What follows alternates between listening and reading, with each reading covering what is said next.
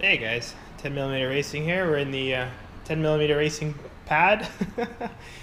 uh, just hanging out today. Uh, so today I'm going to talk about some of the future projects for the Integra.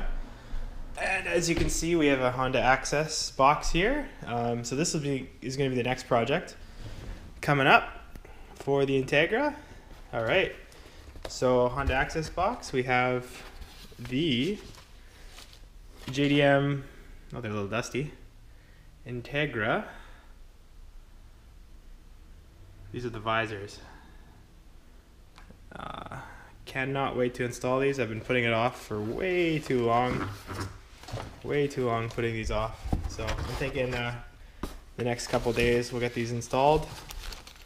All this beautiful hardware. Shout out to uh, Matt from ICB Motorsports hooking this these pieces up.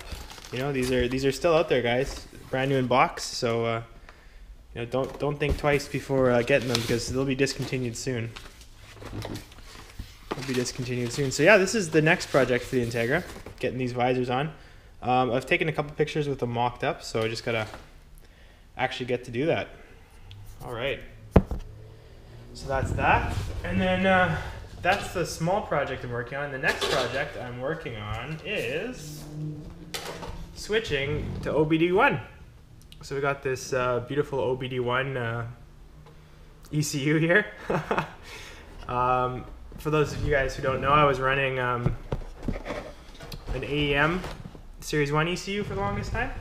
Uh, shout out to HMO Motorsports for hooking this up. Nice guys over there. Make sure to check them out. Super good prices super uh, good ship times. Um, so yeah, the gonna go OBD1. Uh, gonna start running coil on plug. Um, with the coil on plug and the um, AEM, it just doesn't work out. It's not really, you can't run your tachometer, and there's a bunch of other problems. Uh, so I think I'm gonna hold on to the AEM Series One for a bit, just because I did put a lot of money into tuning, tuning what's on it.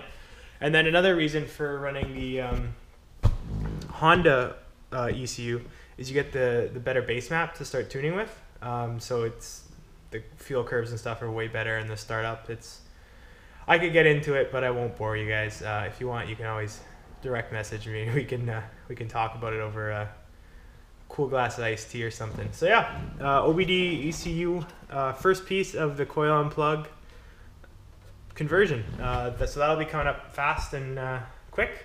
Um, and then also, uh, I got this awesome uh, T-shirt here.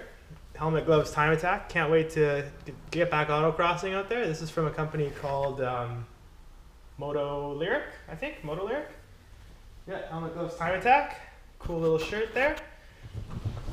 Oh, yeah, shout out to the guys at HMO Motorsports. They really just loaded up with goodies here. Tons of goodies. Just license plate holders, tons of stickers, all with the ECU. Great price. And then uh, also, if you guys have been following along, uh, I got my steering wheel. I, I re, uh, redid the leather on it. So coming up, I need to get it restitched because I want to make sure I still have the red stitching there. As you can see, I, I leathered over the red stitch. And so this, this is definitely going to be a project coming up. The steering wheel there. And then, uh, yeah, so got to get that restitched, all, all ready to restitch.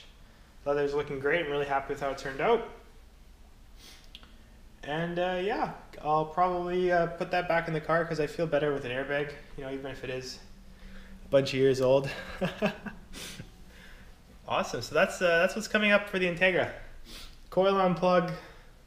Oh, first of all, the yeah, visors. Coil on plug.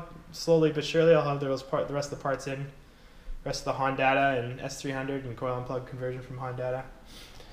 Uh, old steering wheel back on. Now it's got once it's got restitched, and then we're gonna hit autocross. Yeah, and that's the plan for the Integra. Thanks for watching, guys.